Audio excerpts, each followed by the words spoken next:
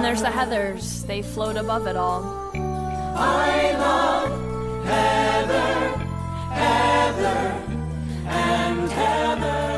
Heather McNamara, head cheerleader. Her dad is loaded. He sells engagement rings. Heather Duke runs the yearbook. No discernible personality, but her mom did pay for implants. And Heather Chandler, the almighty. She is a mythic bitch. They're solid Teflon. Never bothered. Never